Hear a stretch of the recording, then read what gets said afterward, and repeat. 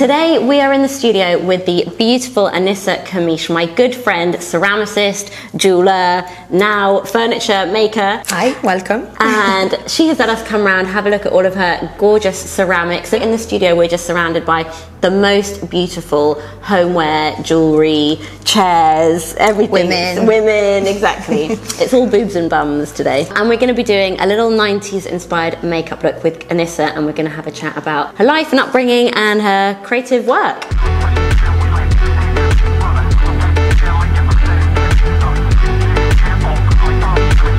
So, the first thing we're going to do is bleach your brows. Yeah. and this has agreed to, bre- to bleach her brows and she's never done it before so it's going to be like quite a quite an experience right where did you grow up In Paris. in paris It was in the um, east side, like it's a bit like the equivalent of Hackney. Ah. so it was very diverse and Yeah. colorful and lots of spices Yeah. and, and beauty around me. My family is from Algeria. Mm. So that's why people uh, often in England struggle guessing where I'm from because I sound French, but I don't, I don't think I, I don't think I look French. Uh, my father was born in France and my mom was born in Algeria. were they creative your parents Uh, my mom was actually. My mom um, loved painting.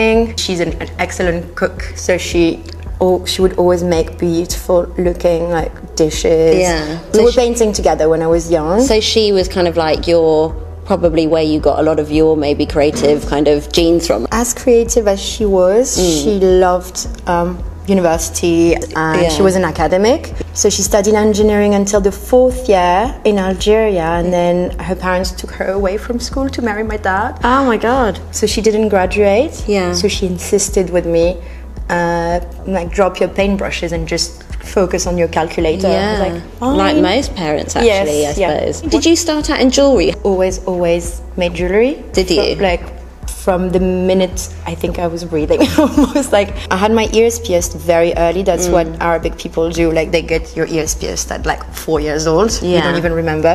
And I remember playing around with my pearls Mm-hmm. already. I remember having a chain that I broke.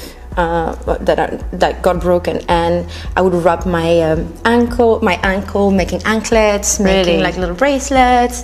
Uh, I would wrap it around and around my finger, making like multiple chain rings. And then when I started, I would uh, just ask gifts that I had to do with jewelry. So like jewelry beading machine, jewelry. How like funny. So it really was like from a very young age you just had this like sensibility for jewels. completely. Do you think it was do you think there's any part of your kind of Algerian heritage that pushed you towards that? Do you remember think- growing up with My mom was quite precious, Mm. and she she adored jewelry. When you get married uh, in North Africa, usually you get a massive uh, jewelry set from inherited from Mm. your family. I remember being fascinated by that, and my mom had to hide it because I would just go find where, where it was, and then like the pieces would get lost in the flat. Thank God we didn't live in a, in a castle, so she would always find them. Yeah. But she had a few techniques to hide jewelry from me. now she's the magpie when she comes here. She's like, "Where's your safe?" yeah. Okay, so this is the hard part. This is where we have to do lips and talk at the same time. So this is like I'm going to the hardest. Yeah. Actually, do you know what? I could ask all of these questions about like where did you study and all of that.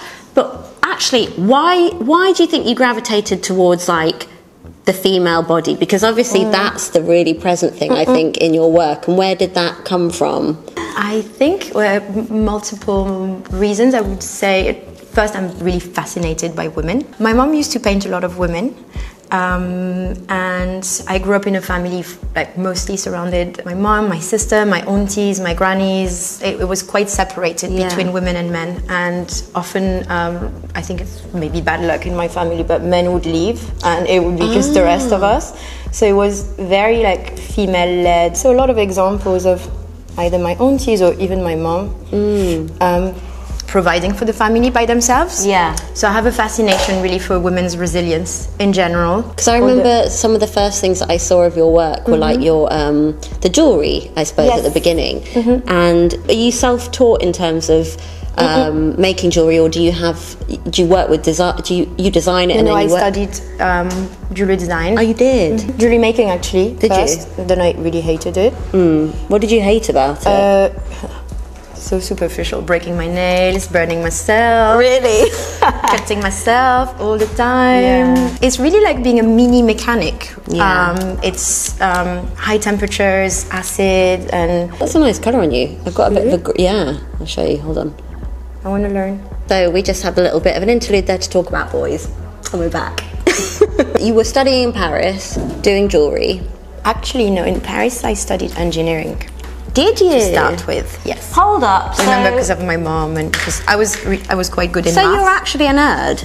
yes. Ah, that's why we get on, probably, isn't it? But you have to be quite a, like a bit of a nerd to um, when you des- like when you do product design Yeah. and um, it's all about proportion and especially with jewelry like one millimeter Yeah. bigger narrower like changes the whole proportions and like Yeah. like weight is involved for example an earring should be 14 gram Ooh. maximum like you have to re- remember a lot of numbers That's interesting though because I feel like when I look at your work, it doesn't look. For me, it's so like organic and sculptural and a bit surrealist, which mm-hmm. seems like a contradiction because you know engineering, like you say, isn't. It's all about numbers and formula and Well, a lot of art, like a lot of artists have a very mathematical spirit as well, or like Mm. uh, have been like, or you've, you've got doctors who also paint. So I don't think the two spirits don't communicate together. Yeah. Like look at you, for example. Like, you're very rational.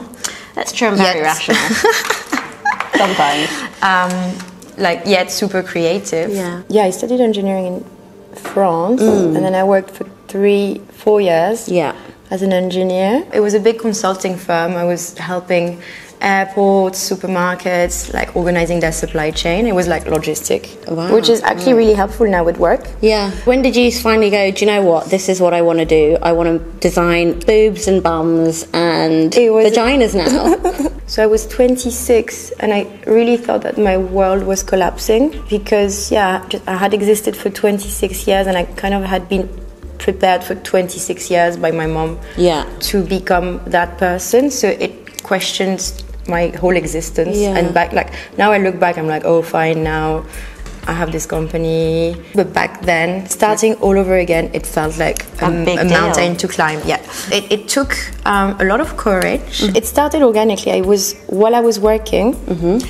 I started making my own pieces um, during my lunch breaks. I remember. So I started making my pieces and then wearing them around, wearing them in the tube, and and what kind of things were they at the beginning? that's the first one actually.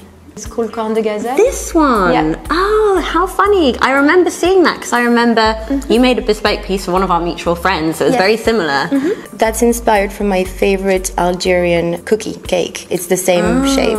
I was wearing that and another piece in the tube, and I kept people kept asking me, "Where did you buy it? Where did you buy it?" Where? Yeah. And at some point, I was like, "Okay, should I just Make make, a series of ten and see where it goes?" Mm. So I made 10 and then I, I sold them straight away and then I left my job, I moved to London and I wanted to study like gemology and because I come from like a family of academic, I didn't feel um, comfortable starting a brand without knowing the whole Yeah. having the whole knowledge behind. Yeah. So I studied here computer aided design and 3D printing. Yeah. I learned how to 3D design the pieces, which was a very new concept 10, 15 years ago. Yeah. Um, and it was magical. Like I just sit in front of a computer, Yeah. design something in 3D, and then print it and have like an actual ring. Yeah. That was quite. That was Yeah. quite cool. And then how did you get then from jewellery to? Because I think actually now you're probably more recognised maybe for we've got one behind us for these beautiful ceramic vases. So was that just like a So basically, to me, they're kind of the same thing. Yeah. To me, uh, ceramics are kind of like the jewelry of a house. Oh, if a house is a human being, Yeah. like a house would wear cera- like would wear Sure. jewelry as so. At the very beginning, I had everything designed together. So if you notice, like.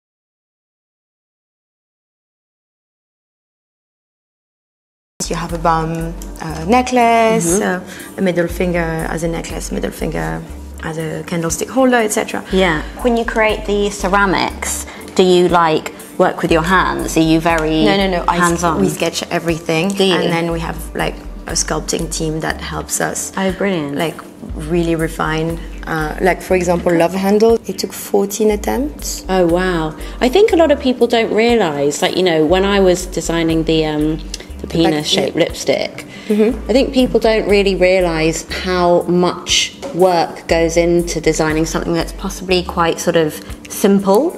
It took like I don't know. T- 20 or more back and forwards with my 3D team to, to land on that thing. Did you use like dildo images for your? I actually didn't. It was all, you know, from the boyfriend? imagination. The tr- no, I think if I said, if I said that this four-inch penis was from my boyfriend's, I think he'd die. it fortunately wasn't. I don't know. I've never seen a penis. So I can't tell you. yeah, right. When you were growing up, because I'm interested to Yeah. know about. Obviously, you've talked about like the female form and your inspiration, but what was like your earliest beauty memory? when I would go to Algeria, my cousin Amina, she had like the trend, trendiest um, hair salon Right. in Algiers, Yeah. uh, the main city. And I would sit with my dolls for hours, and I would just replicate the haircuts that she was making. To um, it was back in the days when, like you know, those big wedding hairdo were Yeah. like on trend. Yeah, yeah. It's a whole ritual in Algeria. You have to like bathe the the the bride, like you know, with specific outfits. Uh, she goes to the hammam Yeah. to get a scrub. Often she cries because she's worried about her first night. Yeah. where she's going to lose her virginity. Yeah. A lot of meaning also behind um, just getting ready for the next chapter of your life. Yeah, it's interesting because I worked with Sabrina Elba recently, and she her parents are from Somalia, and she was saying, you know, there's a huge amount of ritual that goes into actually, you know, women's sort of daily routines. It's lost in the UK. We don't have any of that really. Uh, fake tan.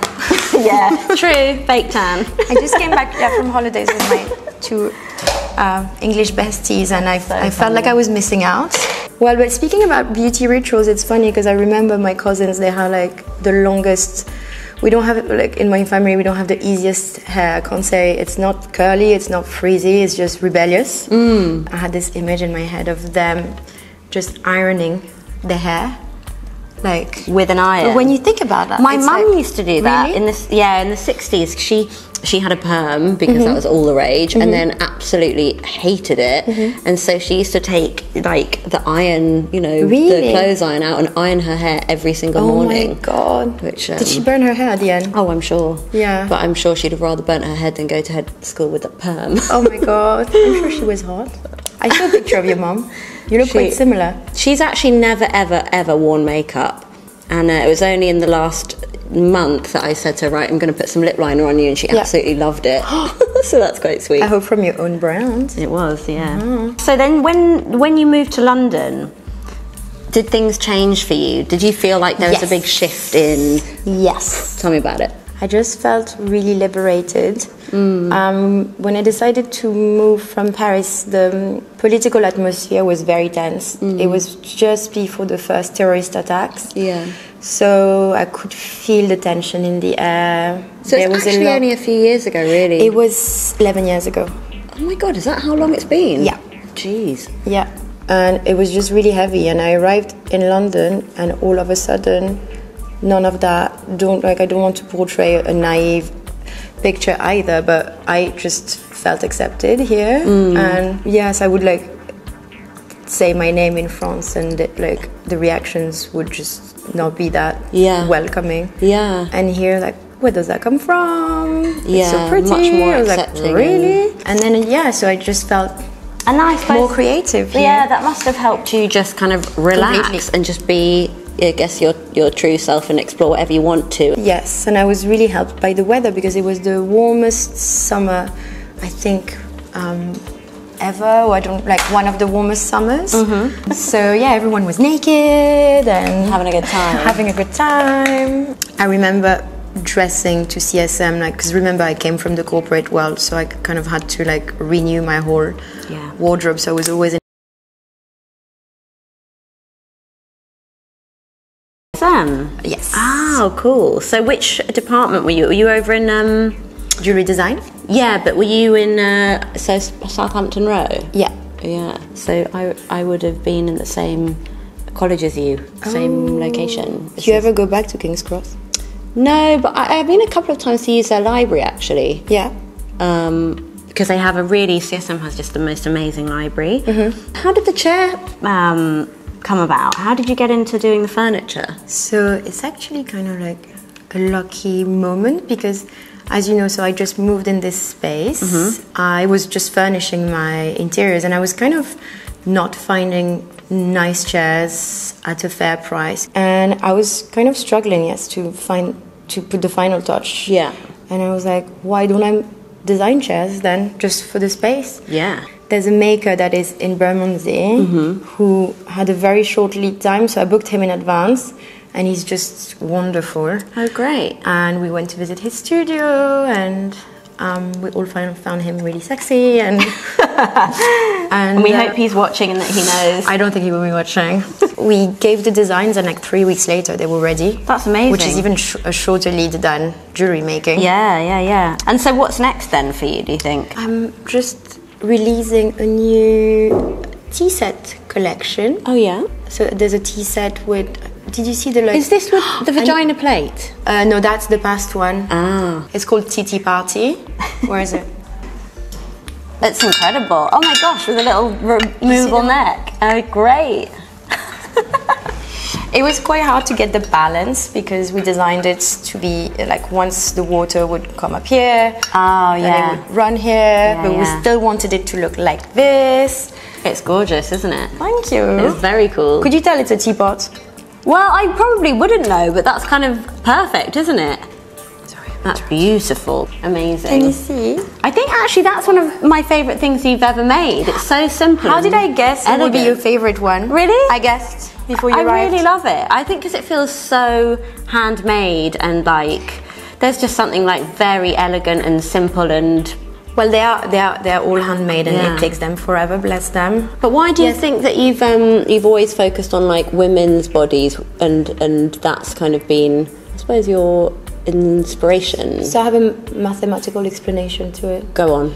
For some reason, when I studied 3D geometry, I loved spheres and circles and el- ellipse Yeah. and everything circular. Yeah. And I find like a woman's body is just an accumulation of different ovals and circles and and, and Interesting. ar- arches, and so it just represents my favorite shape in a way That's- in all kinds of. Yeah, that's interesting because actually I don't really like circular things. I'm much more drawn to like squares or in my house. If I think about my house, I wouldn't. I mean, I have a round mirror, but I naturally wouldn't go for something like that. I really like ah. straight lines, and Do you like brutalism? Like more. that's my favorite I see.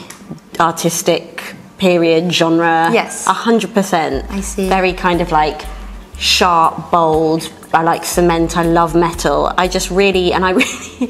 It's so funny.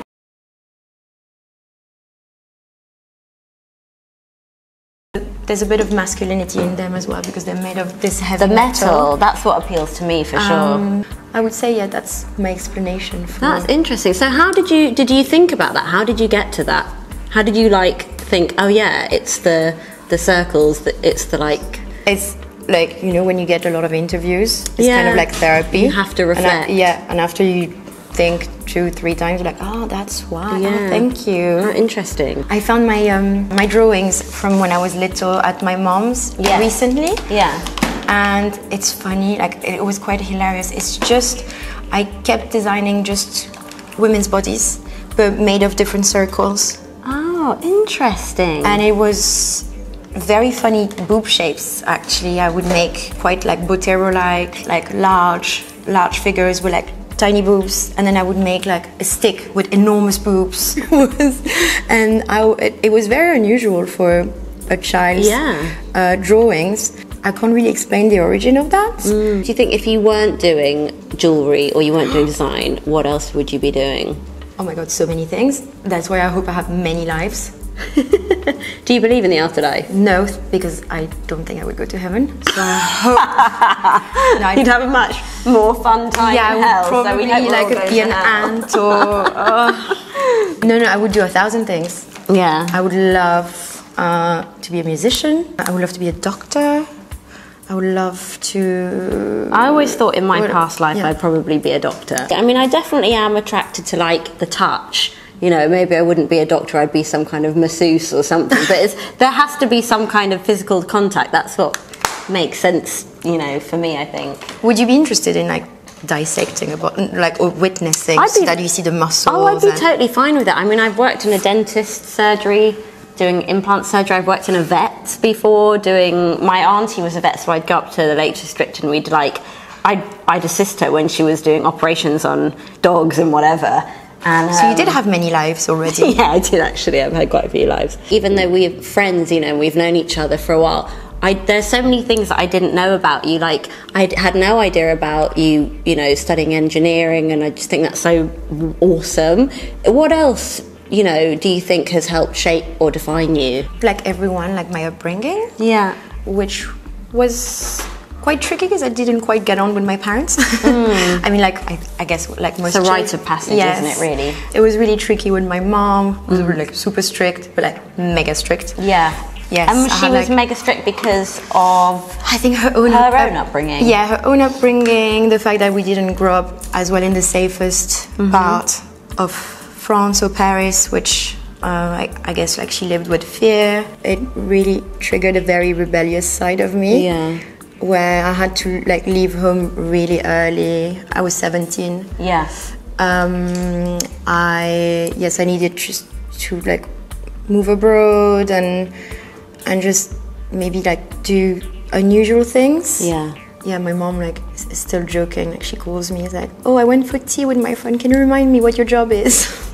I'm like, "Mom, you know what I do." You know exactly She's like, what I do. "Yes, but why do you have to be the only sexual jewelry designer in the world?" I'm like, "Mom, I'm not a sexual That jewelry sounds designer." like a conversation I'd have with my mum as well.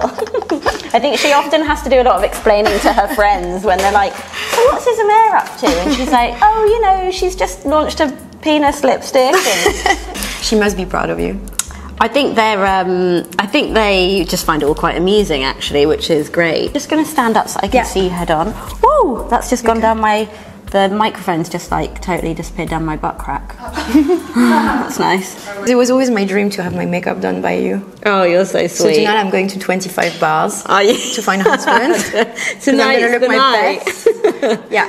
With your bleach. Well, I hope you like the bleach How do we brows. spray it so that it stays forever?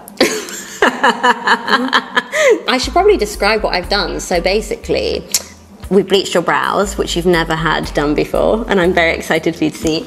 Can you see Um, when I shake them still? Yes, you've full expression. I've gone for a kind of a mix of these kind of smoky gold tones, and I've also gone for a little bit of these to just sculpt out because I sent you this palette, didn't I? Yes. So these ones just to like mattify and sculpt out the eye with a bit of black in the center, and then we've gone for a kind of a grey nude toned lip liner, and then I put the lip black in the middle just to kind of like give it a little bit more definition. So you can have a look. Maman. oh, my god! Whoa. Do you like the brows? wow, I don't recognize myself. I think the brows look incredible on Wow. you. Don't you agree? Yeah, I love that. I think the brows look absolutely amazing. And I like that you've got these little blondie bits. It kind of Yeah, they makes match. sense tonally. It looks beautiful. Wow. Wow, Isamaya, how do you do that in just 15 minutes? I think it's been more than that, but thanks, I'll take it. if we hadn't been talking. Thank you. You're welcome. Is everyone jealous? Well, thanks for being such an amazing model, and thank you for having Thank us you. in this Thank gorgeous you. space Thank and you, talking to me about your life. My, my pleasure. Come back more often to do my makeup. I will do. I will do.